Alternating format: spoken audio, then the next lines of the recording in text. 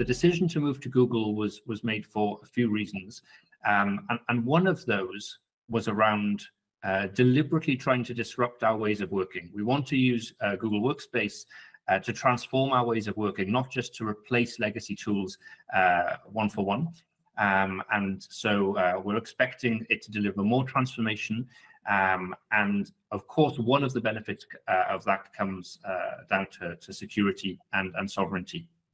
So, uh, for example, moving to, to the cloud has forced us to, to review the way that we do data governance at Airbus, and that's uh, resulted in a, a, whole bunch of improvements which have only been possible due to the partnership with Google. Um, we, we, really see that Google Workspace is uh, uh, resilient to ransomware. You know, there, there, have been no known ransomware attacks uh, uh, related to Google Workspace, uh, and also leveraging, uh, in some cases, operating systems like Chrome OS will, will help there as well.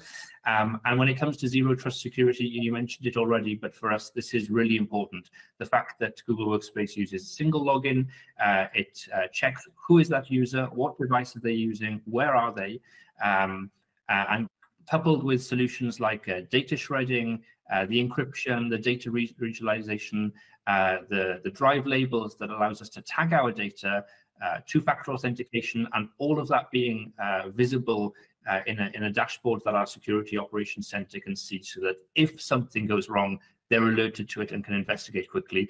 All of those are, are, are really the reasons that we move to Google and the benefits that we see from, from using Google Workspace.